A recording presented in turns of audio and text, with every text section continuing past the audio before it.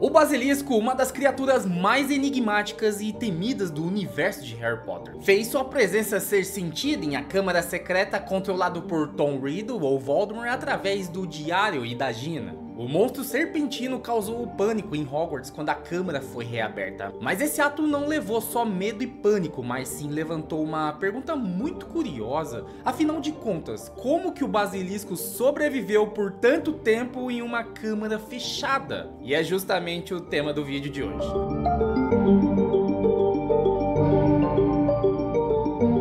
E aí, tudo bem? Eu sou o Tarcísio Yamamoto e Salazar Slytherin, um dos quatro fundadores de Hogwarts, era conhecido por sua astúcia, ambição e poder em magia. Vindo de uma linhagem antiga e pura, Slytherin valorizava acima de tudo a pureza de sangue no mundo bruxo. A crença de que apenas bruxos de famílias puras deveriam aprender magia foi um princípio fundamental da sua filosofia. Ele acreditava que os nascidos trouxas eram indignos de estudar na escola, o que eventualmente levou a um conflito irreparável entre ele e outros fundadores de Hogwarts. Slytherin defendia que o poder e o talento mágico eram herdados e os nascidos trouxas por não virem de uma linhagem mágica não poderiam ser dignos de praticar magia. Para ele, a educação mágica deveria ser reservada para aqueles que pertenciam às grandes famílias bruxas. Slytherin via a escola como um santuário para bruxos de sangue puro, onde eles poderiam ser treinados para preservar preservar e fortalecer a sua linhagem mágica. E com o passar do tempo, Salazar Slytherin percebeu que seus ideais não prevaleceriam enquanto seus colegas fundadores permanecessem no controle da escola. Portanto, ele criou um plano para garantir que em algum momento no futuro o seu legado e crenças continuariam. Ele criou a Câmara Secreta. A criação do basilisco foi uma decisão calculada por Slytherin. Ele sabia que para proteger o seu legado e realizar o seu objetivo de purificar a escola, ele precisaria de uma arma poderosa, algo que pudesse ser controlado apenas por seus verdadeiros herdeiros. E foi aí que nasceu a ideia do basilisco. É dito que um bruxo poderoso e conhecedor das artes das trevas pode criar um basilisco fazendo com que um ovo de galinha seja chocado por um sapo. Essa criatura não é apenas uma serpente gigantesca, mas é uma fera mágica mortal cujo olhar pode matar instantaneamente qualquer ser vivo e afetar até os não vivos, como por exemplo os fantasmas. O basilisco foi criado como a arma definitiva de Salazar Slytherin para livrar Hogwarts dos alunos nascidos trouxas. Ele sabia que no seu tempo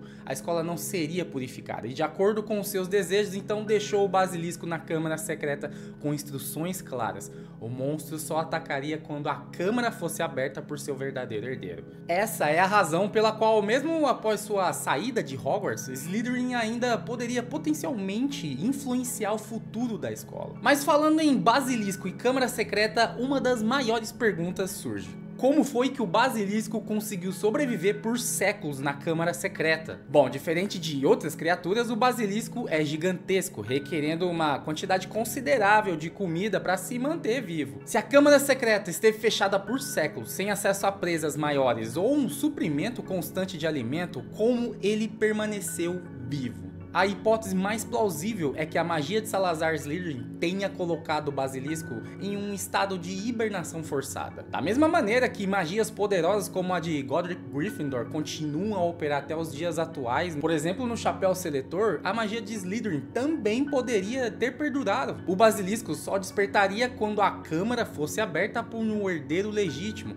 tornando-se ativo para executar suas ordens. Assim como os fundadores de Hogwarts realizaram feitiços extraordinários que se mantiveram operantes ao longo dos séculos. É provável que Salazar tenha feito o mesmo com a sua criação. O chapéu seletor é um exemplo claro de que a magia fundadora é duradoura e poderosa o suficiente para resistir à passagem do tempo. E isso sugere que a hibernação forçada do basilisco tenha sido um efeito intencional da magia de Slytherin. Essa hibernação faria o basilisco entrar em um estado latente no qual seu metabolismo seria reduzido ao nível mínimo, eliminando a necessidade de caçar. Isso também explicaria por que o basilisco nunca foi ouvido por Harry em A Pedra Filosofal quando ele desenvolveu sua habilidade de falar ofidiogrossia.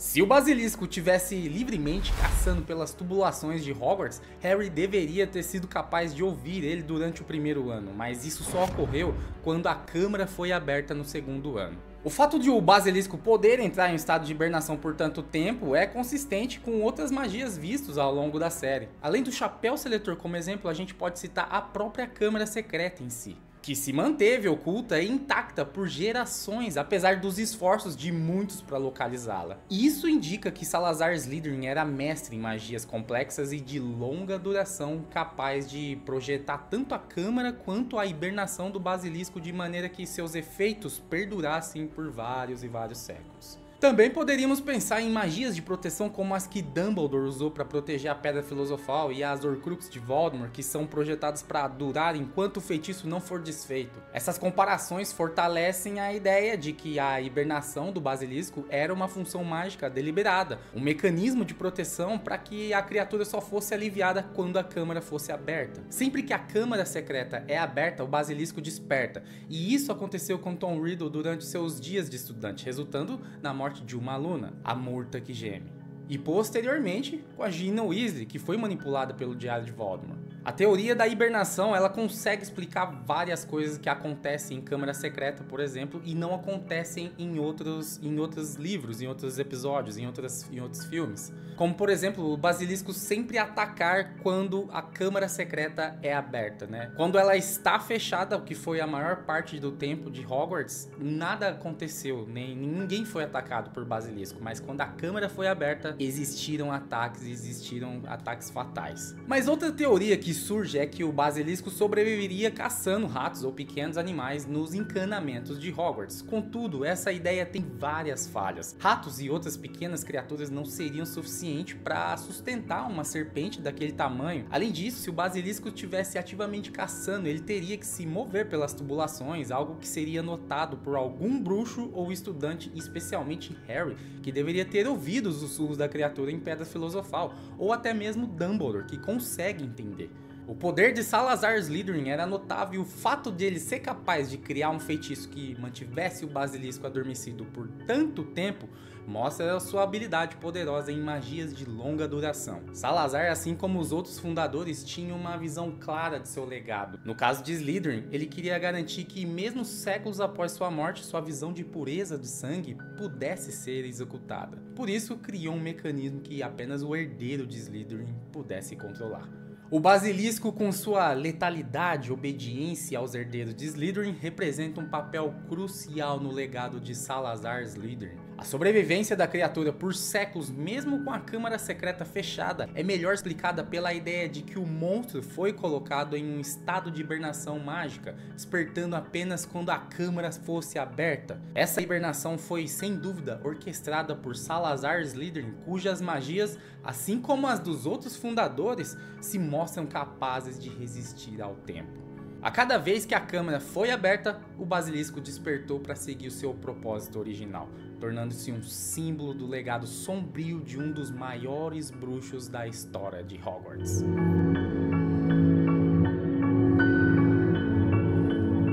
Tá aí, galera, um vídeo sobre basilisco em Harry Potter e uma curiosidade que eu ouço muito de muita gente. Como ele sobreviveu nesses intervalos de tempo que a câmara ficou fechada e os intervalos foram gigantes, foram séculos até. Então, como ele poderia sobreviver? Eu dei as minhas teorias, mas eu quero ouvir se faz sentido para você essas teorias aqui. Você tem alguma teoria que faz mais sentido da que eu acabei de falar aqui? Deixa nos comentários e vamos conversar disso aí. Não esqueça esquece, já aproveita aqui, likezinho e deixa a tua inscrição caso ainda você não seja inscrito. Seja muito bem-vindo aí ao canal, meu.